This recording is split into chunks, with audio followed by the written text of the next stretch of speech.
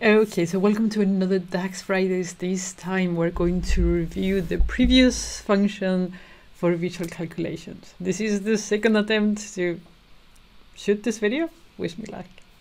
Okay, so let's start with previous. If we go and take a look at calculation, I've done previous sales only. If you start a new calculation and you select versus previous is going to encourage you to do these minus these.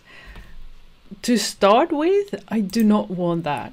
Um, and it's just so you're able to see and I'm able to explain, otherwise it gets messy. So if we just have versus previous, you'll see that it will give you the previous value. And then when you do sales minus previous row, then you get sales minus previous row. So you can see it here. This is just previous row, and again, it just demotes the row.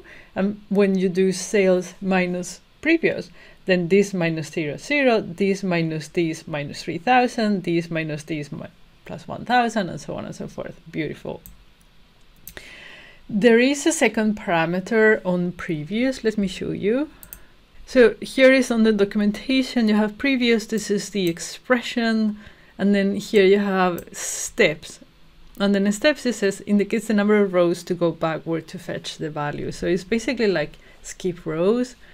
So if we go here, I call it skip rows because here I have step two. And what it does is it skips the first two and start doing the previous row on the third item. So, so far so good. If you remember from the first video, when we don't specify anything, so the axis parameter, which is columns, column rows, rows, row, columns is by default rows, right? So all of these calculations have rows as default. You may think, oh, to test the columns, you know, I have columns in this table. I can just write columns. You cannot do that. Go to my first video to check that out because these are not the columns that it means. It means matrix columns. So we need to create a more complex matrix in order to do that which I've done here. So here we have the columns that they are referring to, the axis of the matrix. So this is the column one and this is column two. And when we do this, we can start using the other axis parameters, otherwise they will not show. So here I have sales, I have columns as the axis, column rows, row columns, okay? So that's what we're going to explain now. So hopefully I will manage to explain it. Now, there are two tables. The, the first table, it just has previous rows. It doesn't have anything else. The second table, it has sales minus previous sales. So you can see what's going on. Otherwise, it's very difficult. At least it was for me. So here we have the column sales. When it goes to the axis columns, this one, it says calculates horizontally across columns from left to right. So when you're doing something in rows, you go this, this, this, this. When you're doing something in columns, you go this, that, that, that. that. That's what it means with columns, right? So instead of going row by row, it goes column by column, like that. Boom, boom, boom, boom, boom, boom. Okay. So previous column for these false, there's nothing. We don't have any. That's why it's empty.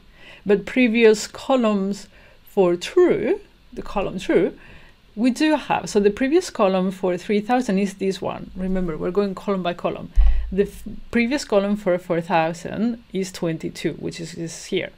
Previous column of 5000 is 21, and so on and so forth. So it goes to Okay, so what happens now when we're doing sales minus previous column? So if we go in here, we're doing sales, which is 26,000 minus zero, 26,000.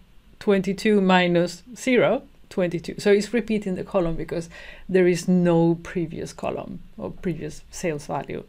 For here, we have 3,800. And what is the previous value? The previous value, if you remember, was 26,000. So it's doing these minus these, which is 22,000. These minus these, which is 17,000. These minus these, right? And it's calculating that way.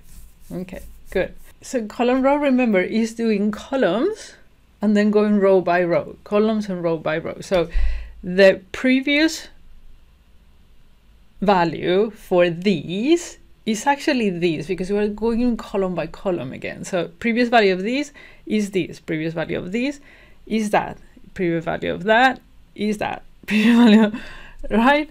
So then it's putting in them here.